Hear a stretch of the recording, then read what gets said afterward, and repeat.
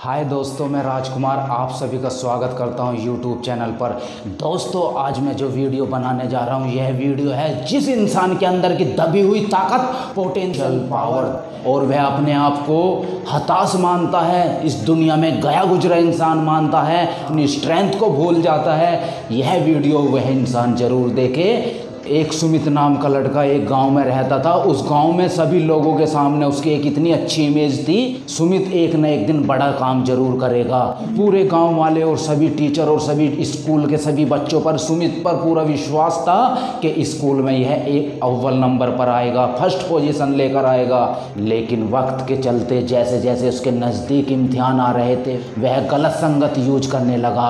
और उसके माता पिता के बार बार समझाने पर भी उसको लग रहा था कि मेरे माता पिता मुझे कुछ समझते नहीं, मुझे कुछ मानते नहीं, और वह अपने माता पिता को आर्गूमेंट्स करके बोल देता कि तुम अपना देखो, मैं अपनी प्रॉब्लम को अपने आप हैंडल कर लूँगा। पेपर हो गया एग्ज़ाम हो गया, सबकी निगाहें सुमित पर टिकी हुई थी। और मालूम हुआ कि सुमित जो है फेल हो गया, पूरे गाँव में हक्का बक्का हो गया। इसके लिए तो हमने कभी सोचा नहीं था कि यह फेल हो सकता है। ये तो गाँव का सबसे होनहार और सबसे होशियार बच्चा है। इन सभी कंडीशन से गुजरते हुए सुमित ने सभी से बातें करना छोड़ दिया।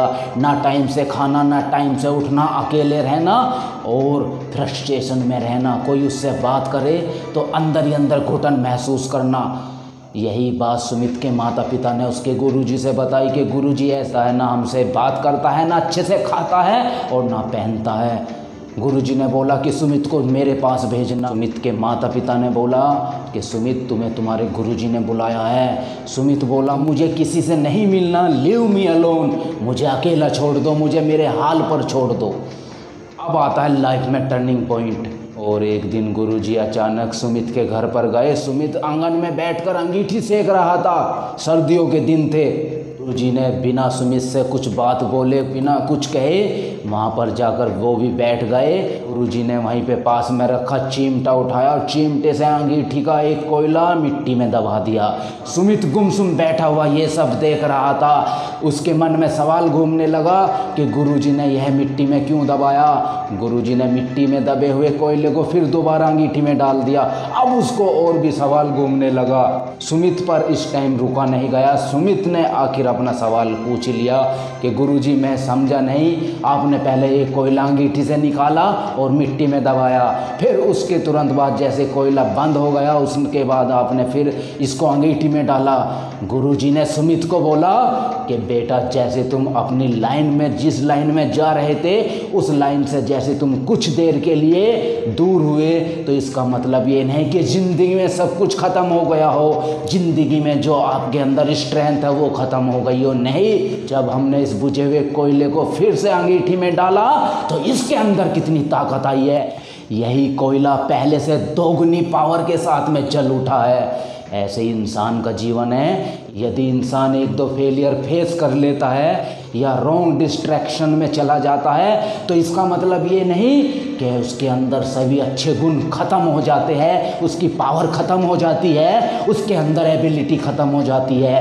वह यदि प्रयास करे और दोबारा लड़ना चाहे तो उसके अंदर दोगुनी ताकत आ जाती है तो डबल पावर के साथ में काम करता है। और किसी ने कहा है दोस्तों कि कुल्हाड़ी के एक वार से पेड़ नीचे नहीं गिरता।